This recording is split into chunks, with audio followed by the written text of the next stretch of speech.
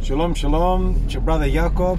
Just a message to say shalom and may the love of Yeshua be with you all.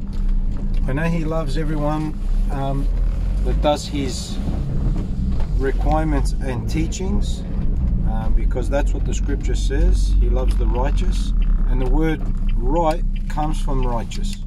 So um, it's very important to remain humble during these times and teachable because what we think we know, we may not know, and when someone tells you something, you might get it.